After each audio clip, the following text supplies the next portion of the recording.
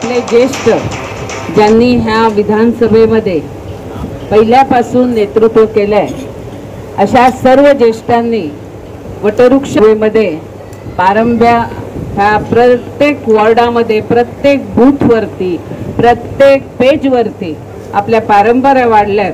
पण ह्या पारंब्या वाढवण्यासाठी ज्या ज्येष्ठांनी आपल्या ज्या कठीण काळामध्ये भारतीय जनता कार्य केलं ह्यांच्यासोबत आज आपण भोजन करणार आहोत. त्याचबरोबर टिफिनमध्ये सगळे आपले शक्ती केंद्र प्रमुख वॉर्डाचे त्याचप्रमाणे मंडळाचे जिल्ह्याचे आणि ज्येष्ठ आपले कार्यकर्ते ह्यांच्यासोबत आज आपण जेवण कर जेवण करत आहोत. आपल्याला मोदी ॲट नाईनमध्ये मोदी साहेबांच्या नऊ वर्षाच्या कारकिर्दीमध्ये आपण गेले अडीच महिने हा कार्यक्रम राबवत आहोत. ह्याच्यातले सर्व कार्यक्रम आपल्या विधानसभेतले झालेले होते. आज पूर्ण भारतामध्ये हा टिफिन बैठकीचा कार्यक्रम होत आहे आणि दैसर विधानसभेमध्ये मला सांगण्यास आनंद होते की आमचे सर्व ज्येष्ठ आमचे खासदार गोपाल शेट्टी जे असतील छोट्याशा छोट्या कार्यक्रमाचं पण निमंत्रण दिलं तरी गोपाल शेट्टीजी आपल्या दैसरला येत असतात. प्रजा फाउंडेशन द्वारा नंबर वन का खिताब जीतने वाली कार्य सम्राट विधायिका मनीषा ताई चौधरी के नेतृत्व में दहीसर विधानसभा में एक बार फिर टिफ़िन बैठक और ज्येष्ठ नागरिक स्नेह भोजन का आयोजन किया गया। इस मौके पर प्रमुख अतिथि रहे पूर्व मंत्री व उत्तर प्रदेश के राज्यपाल राम नाईक जी और सांसद गोपाल शेट्टी। इस दौरान मनीषा ताई चौधरी ने सांसद गोपाल शेट्टी और राम नाईक जी का स्वागत कर उन्हें सम्मानित किया। और इस मौके पर मनीषा ताई चौधरी ने बताया कि किस तरह से आज हमारे वटवृक्ष की एक एक डाली जो है, यहाँ के कार्यकर्ता हैं। कार्यकर्ताओं के ऊपर बहुत बड़ी ज़िम्मेदारी है।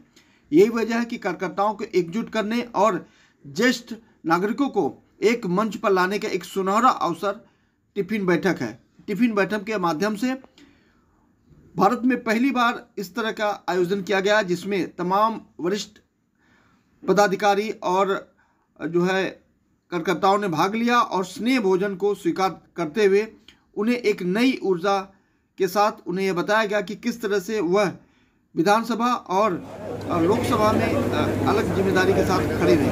क्या कुछ कहते हैं? देखिए आया है।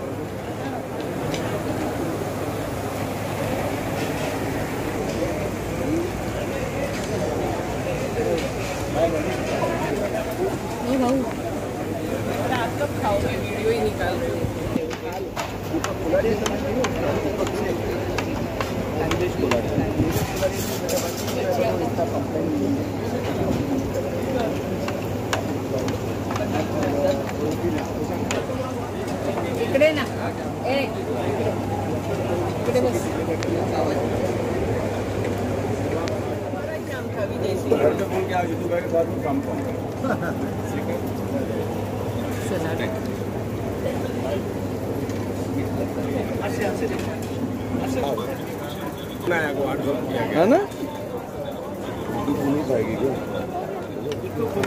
गणेश इकडे बघा फक्त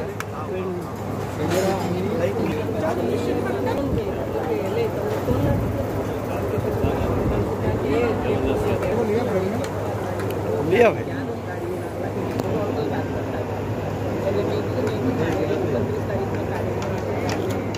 जी, टिफ़िन बैठक का क्या मकसद है, क्या संदेश है? टिफ़िन बैठक का मूल मकसद केंद्रीय नेतृत्व के दिमाग में शायद यह आया होगा कि भारतीय जनता पार्टी अभी बहुत बड़ी हो गई। और जब पार्टी मास बेस्ड पार्टी हो जाती है तो काम भी बहुत बढ़ जाता है, काम बहुत बढ़ जाता है सीधे कार्यकर्ताओं से मिलना थोड़ा कम हो जाता है। तो एक टिफ़िन बैठक के माध्यम से मैं देखा, मैं सात आठ टिफ़िन बैठक में उपस्थित रहा हूँ और दहीसर के दोनों टिफ़िन बैठक में मैं उपस्थित रहा हूँ तो चालीस चालीस साल के पहले के कार्यकर्ता दिखाई दे रहे आज उत्तर मुंबई के इतिहास में अगर देखा जाए तो राम नाईक जी सबसे वरिष्ठ कार्यकर्ता तो राम नाईक जी आज इस कार्यक्रम में आए।